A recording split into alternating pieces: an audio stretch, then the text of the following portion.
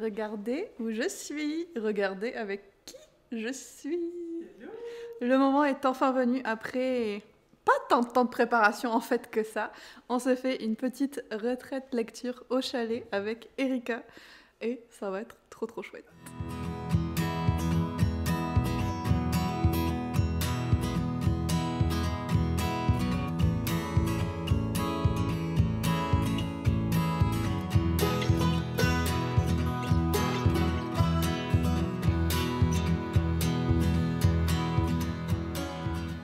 Donc oui, on est au chalet pour deux jours. On a pris vraiment beaucoup, beaucoup trop de livres à lire. Moi, j'étais comme, je sais pas ce que je veux lire. Je sais pas si je veux faire de la notation. Je sais pas si je veux faire du reading journal. Donc j'ai tout pris Mhm. et on verra. J'avais mis un vote sur Instagram parce qu'à la base, je m'étais dit, je pourrais profiter du week-end pour enfin lire Zodiac Academy. Mais vous avez été du côté raisonnable et décidé que je vais finir ma pile à lire du Cold Winter Challenge.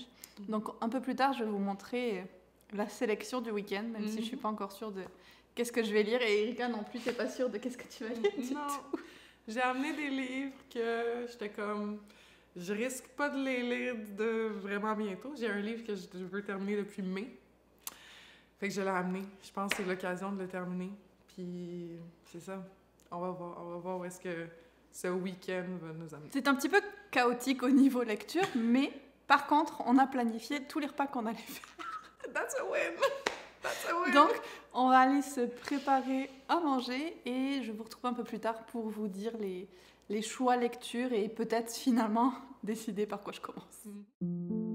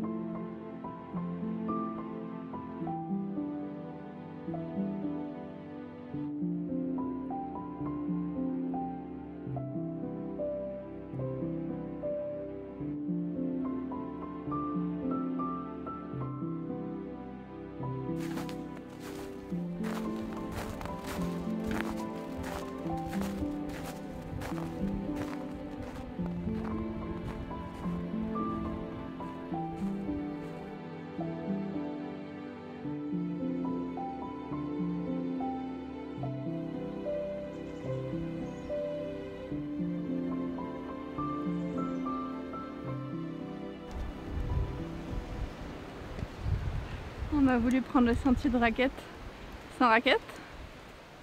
Et voilà. On vient de rentrer de notre balade et on a failli se perdre qu'une ou deux fois, c'est pas mal.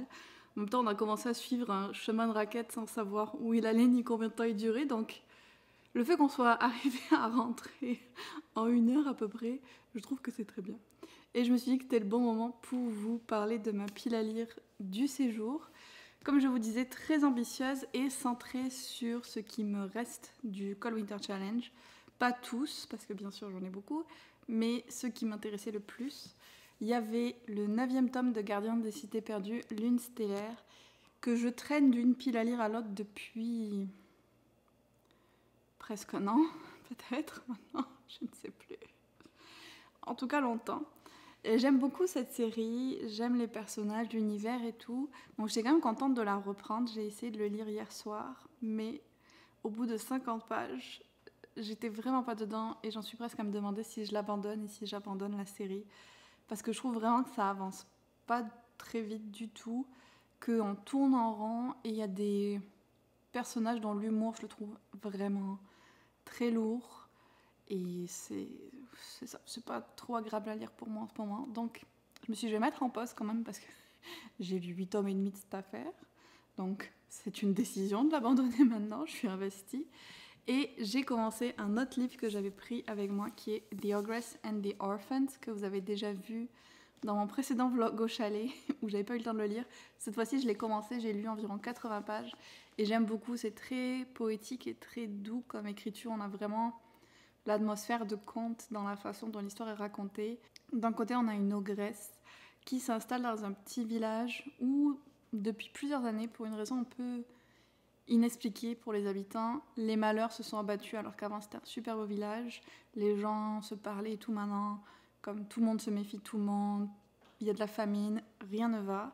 Et dans ce village, il se trouve qu'il y a une maison avec des orphelins qui essayent tant bien que mal de survivre et qui ont deux personnes qui s'occupent d'eux du mieux qu'ils peuvent. C'est vraiment une famille recomposée, si on veut un petit peu. Et on voit leur quotidien et leurs euh, difficultés. Nous, en tant que lecteurs, on a aussi, grâce au narrateur, une vision plus large et on sait qui est un peu le méchant de l'histoire. Mais du coup, là, je me demande comment est-ce qu'il va être identifié, comment est-ce qu'il va être vaincu. Pour l'instant, l'ogresse et les orphelins ne se sont pas encore rencontrés, donc j'ai hâte de voir comment ça va continuer, mais pour l'instant, c'est une super bonne lecture. J'ai aussi pris le deuxième tome des Tribulations de Lady Eleanor Grant, une femme archéologue qui, dans le premier tome, avait découvert le tombeau d'une reine oubliée. Et là, elle va partir pour l'Amérique centrale.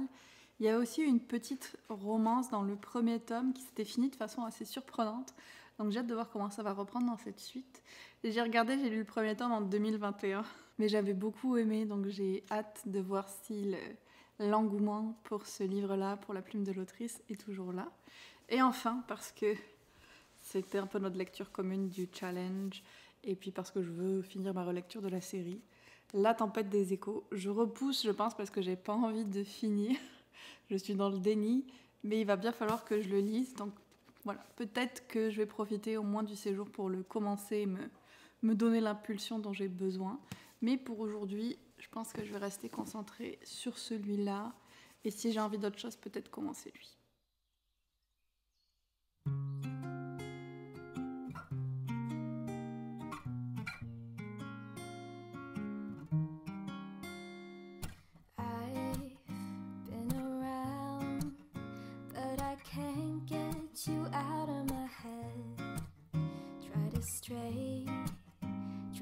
forget the thoughts they seem to drown instead.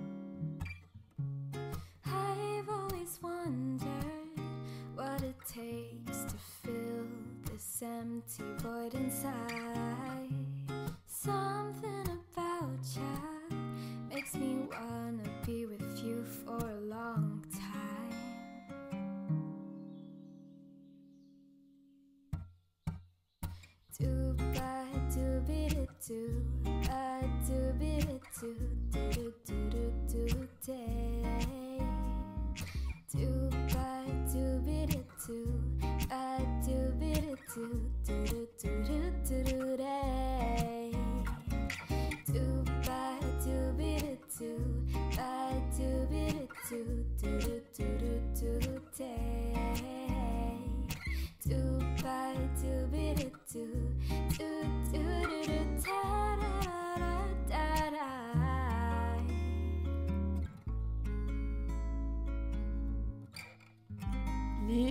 9h30 du soir. The night is still young. J'ai encore peut-être deux heures de lecture ou plus possible. Et j'en suis à la moitié de la malédiction de Nectanebo. Je vous dis la moitié, c'est approximatif là, peut-être un petit peu moins, mais j'ai beaucoup avancé. Je me régale. J'adore le personnage de Lady Eleanor. Je l'aime tellement. Les réflexions sur la situation des femmes à cette époque. J'aime aussi la société dans laquelle elle évolue. Très chic, on s'entend, mais c'est intéressant. Et puis là, sa nouvelle quête, on va dire un petit peu archéologique, qui commence. Des bois amoureux aussi, vu que à la fin du premier tome, ça s'est mal terminé avec euh, Crowley, qui était comme son partenaire masculin dans les aventures et plus. Donc là, elle, euh, bah, elle s'est fait une raison un petit peu quand même. Elle est, je l'aime beaucoup dans sa personnalité parce que voilà, elle a, décidé de pas se laisser anéantir par ça au cours. Elle continue sa vie. Elle est donc dans cette quête archéologique nouvelle. Et là, avec sa meilleure amie enceinte, le mari de sa meilleure amie, et bon, son majordome et une femme de chambre, ils ont embarqué à bord du Titanic. Le Titanic On sait qu'est-ce qui va se passer avec le Titanic, ce n'est pas joyeux. Et on sait que les quelques personnes qui ont pu être sauvées, c'était les femmes et les enfants. Donc je me fais beaucoup de soucis pour le mari de son ami. J'imagine que son ami va s'en sortir, c'est une femme enceinte. L'autrice, à mon avis, ne va pas faire mourir une femme enceinte. J'imagine que l'héroïne va s'en sortir, les serviteurs, je l'espère, mais son mari, il est gentil et tout, je veux pas qu'il meure. Et puis, il se trouve que bien sûr, qui est à bord du navire également Crowley, son ancien amant, qu'il a abandonné pour des raisons que nous on comprend mais qu'elle ne sait pas encore. Donc on ne sait pas comment les retrouvailles vont se faire, mais pour le moment elle, elle lui en veut beaucoup. Donc ça va être sûrement très houleux. Lui aussi il est à bord du Titanic. Tout ce monde-là risque de mourir et de couler. Alors comme je vous dis, objectivement je sais que ça n'est pas le cas de tout le monde, mais il y en a certains pour qui je m'inquiète. Puis juste la tension, la pression de savoir ce qui va se passer maintenant qu'ils sont à bord du bateau. Il leur reste genre, je suis allée vérifier la date où le Titanic a coulé. La nuit du 14 au 15 avril 2024, 1912. Et là, ils en en est au 11 avril. Donc ça s'en vient et je suis sous une tension permanente au point que j'ai fait un truc que je vais habituellement jamais faire. C'est d'aller voir plus loin dans le livre qu'est-ce qui se passait. Je ne fais jamais ça d'habitude et je vous dirai que ça ne m'a pas apporté de réponse à la question que je me posais de toute façon. Donc oui, le Titanic va quand même couler, ça c'est clair. Après, qui va y rester ou non, je ne sais toujours pas. Mais je suis trop stressée. J'aime ce genre de stress que les livres nous font vivre, mais quand même. Donc je vais continuer à le lire le maximum que je peux ce soir. Franchement, si je suis pas fatiguée, j'ai presque envie d'essayer de le finir aujourd'hui, mais ne nous avançons pas trop. Je vois pas quand même comment je pourrais aller me coucher sans savoir qui survit au naufrage du Titanic. Ouh. Ce qui est très chouette et que j'avais oublié dans ce livre aussi, c'est qu'il y a des illustrations. Alors je vais essayer de vous en montrer une qui soit pas spoilante de quoi que ce soit. Voilà, c'est très chouette. J'aime vraiment beaucoup ma lecture. Je suis vraiment contente de ne pas faire attendre ce livre un an de plus avant de le lire. C'est très satisfaisant quand même de lire un livre qui est dans votre pile à lire depuis longtemps. Donc je vais le continuer. Je vais le continuer et espérer que tout le monde s'en sorte. Inception, ok? Parce qu'Elise a sa caméra, j'ai la mienne. Et on va faire des masques. Alors moi, je vais prendre celui pour les vieilles, pour retrouver ma peau de jeunesse. Erika qui est jeune. Elle va prendre celui qui brighten la peau. L'illumine. C'est pour la fatigue, toi, ça va Éclaircit et revitalise la peau. Éclaircit et revitalise la peau. Oui, donc euh, je me suis souvenu qu'Elise avait des masques. Oui, parce que moi, j'ai pensé amener des masques, mais j'avais oublié que je les avais amenés. Donc si Erika s'en était pas souvenue, je serais repartie avec mes masques. Voilà. Ben oui, hein. Et puis, Freya, euh, Freya a voulu tester les masques elle aussi. Donc ça a coulé dans mon sac. Y a un trou là aussi, tu vois. Ah, j'étais comme ici, mais ça, c'est quand même Mm. dans l'emballage. Au début, je pensais, mais elle a été... euh, Tu penses qu'il serait mieux de nettoyer notre visage avant? ouais.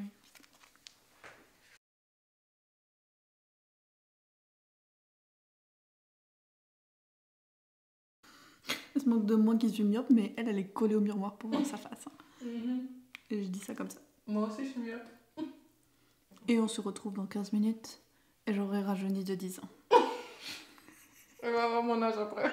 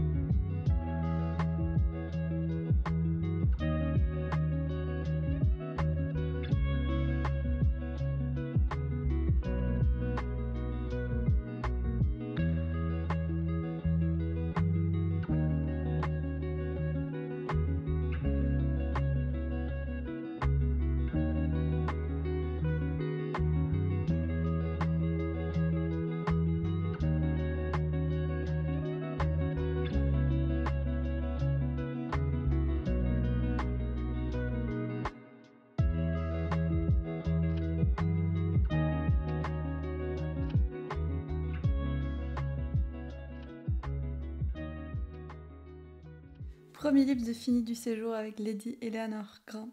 Je l'ai terminé hier soir, très tard, ou aujourd'hui très tôt, comme vous préférez. Je l'ai lu en une journée donc, et ça c'est tellement un feeling agréable, je trouve, de se dire j'ai lu un livre en une journée. En tout cas, moi j'aime bien. Surtout quand c'est un livre qui a traîné pendant un bon moment dans vos piles à lire. C'est encore plus satisfaisant. Ce que j'ai moins aimé par contre, c'est ce qui arrive aux personnages parce que on passe un long moment avec eux à bord du Titanic pendant qu'il coule. Et c'était vraiment oppressant et, assez horrible euh, ce qui se passe, ce que les gens font pour survivre ou pour que les gens qui aiment survivre, les sacrifices ou les morceaux d'humanité qu'on accepte de perdre en fait pour s'en sortir. Et je pense que pour les personnages, c'est une grosse réalisation aussi ce que eux et les autres sont capables de faire et ils s'en sortent vraiment pas indemnes. Donc ça faisait mal à lire et puis vraiment cette euh, ambiance oui oppressante parce que on sait comment ça finit le Titanic, on sait qu'il y a beaucoup de gens qui n'ont pas survécu et tout. Donc une deuxième moitié, une fin très difficile. Encore une fois, on se retrouve avec notre couple qui, alors que ça allait mieux maintenant, se sont à nouveau éloignés pour d'autres raisons. Et ce qui rend ça encore plus difficile, c'est que ce livre-là a été écrit il y a quand même pas mal d'années, 2020. Et l'autrice ne parle pas d'écrire la suite depuis, je suis allée voir sur son Instagram, elle n'a pas fait de publication depuis presque un an. Donc j'ai peur qu'il n'y ait jamais de suite. Et ça, c'est horrible, horrible, horrible. On va voir, mais j'ai une grosse crainte. Alors qu'il y a quand même pas mal de trucs ouverts dans ce livre-là. Ce que je trouve dommage, c'est que le résumé laissait penser qu'elle allait en Amérique centrale et qu'on allait peut-être participer à une expédition, quelque chose, où elle allait pouvoir découvrir si les Égyptiens avaient traversé l'Atlantique. Enfin, c'est un peu les indices qu'on avait au début du livre et ce que le résumé laissait penser. Mais au final, on passe la majorité du temps dans le Titanic. Et après, tout ce qui se passe aux Amériques, c'est une fois qu'elle s'en est sortie et qu'elle est chez sa tante à New York. Donc ça, j'ai trouvé un petit peu décevant. Je m'attendais pas nécessairement à ça. Enfin, au bout d'un moment, oui, parce que je voyais qu'on n'allait pas s'en sortir du bateau avant la fin. Mais j'ai trouvé que le résumé, du coup, était un petit peu trompeur. Alors a un troisième tome, peut-être qu'il se passera là-bas, je ne sais pas. Tout ce qui touchait à l'aspect archéologie était plus en arrière-plan par rapport au premier tome. Il y avait plus une autre enquête qui se menait et j'ai quand même bien aimé tout. Franchement, au niveau de l'écriture, des personnages, de l'histoire, j'ai vraiment aimé ce livre. Je pense que ce sera un 4.25 sur 5, donc une très bonne lecture. Je m'attendais pas à ce qu'il ait cette structure. J'espérais que ce serait la fin de la série parce que je savais que l'autrice avait rien écrit là-dessus depuis un moment, mais non. Donc euh, voilà, par rapport à ça, je suis un peu triste et du coup, je sais pas si je vous dirais lisez-le parce que si c'est pour jamais avoir la suite, c'est un peu frustrant. Enfin, on verra, peut-être qu'elle la, sortira un jour, c'est juste moi qui ai, qui ai quelques craintes vu que depuis printemps 2020, il n'y a pas eu de nouvelles par rapport à ça. On verra. Je suis quand même très contente de l'avoir enfin sorti de ma file à lire. J'ai lu, avant de m'endormir, parce que j'étais traumatisée par cette histoire de Titanic, un chapitre de plus de The Ogress and the Orphans. J'avance vraiment pas vite dans ce livre-là, mais j'ai essayé de le continuer un peu aujourd'hui. Et hier soir, j'ai fait mes post-it pour euh, La tempête des échos. Donc même si je ne l'ai pas encore commencé, je prends le chemin de la lecture parce que mes post-it sont prêts pour la notation. Peut-être que je le commencerai aujourd'hui aussi parce que c'est ça, je sais pas si je vais faire que lire celui-là, j'aime bien l'entrecouper d'autres choses. Donc j'ai quand même essayé de le continuer un petit peu, mais si tout se passe comme prévu, je devrais commencer enfin la tempête des échos aujourd'hui. Oh là là là là.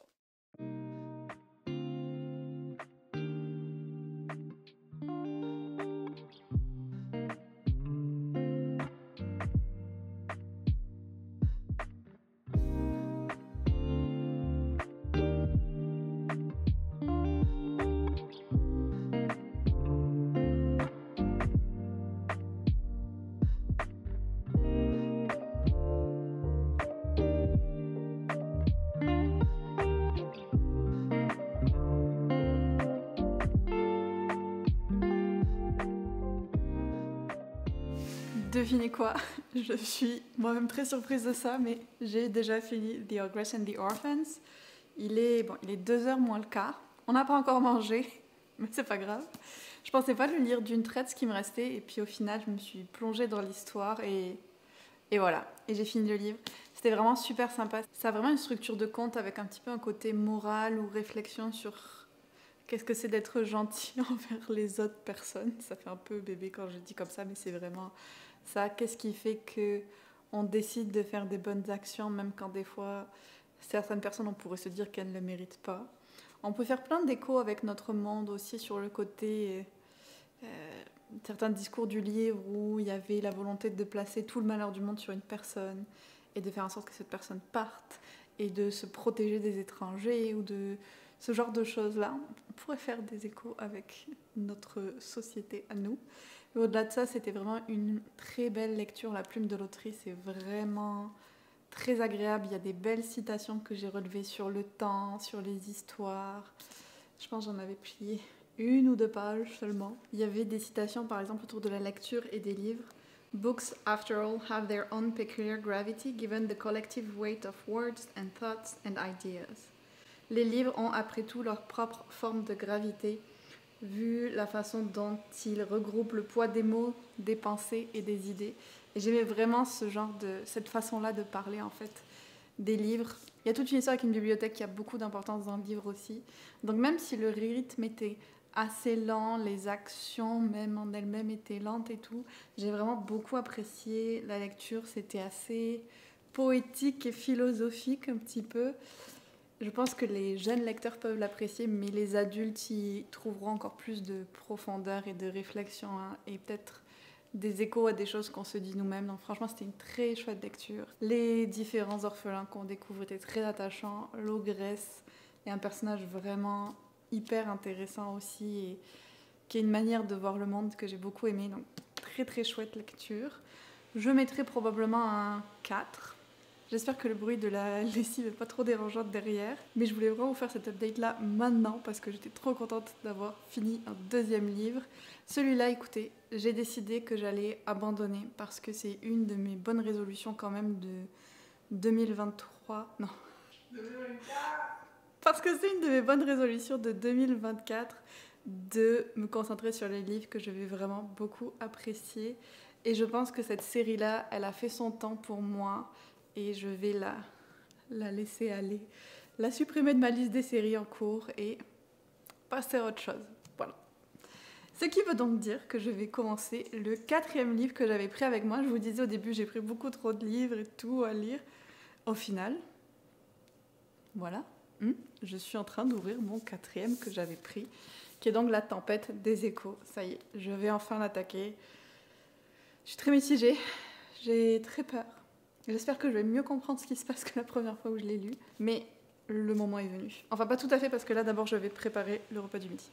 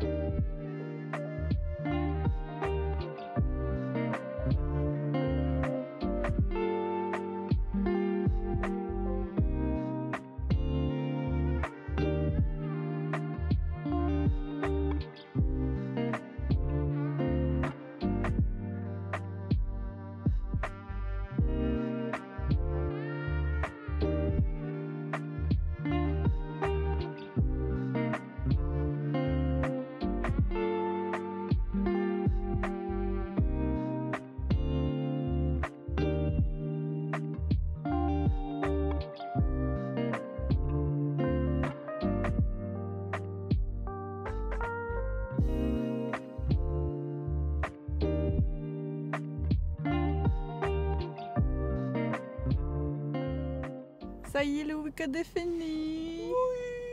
Le temps de rentrer à la maison. Et du coup, moi, je vais écouter la suite du meurtre de Roger Ackroyd dans un livre audio avec BookBeat. Et toi? Je vais continuer à lire Death Fallen Night, euh, mais en papier. So proud. Elle avait commencé en mai 2023. Donc, c'est parti pour le retour à la maison.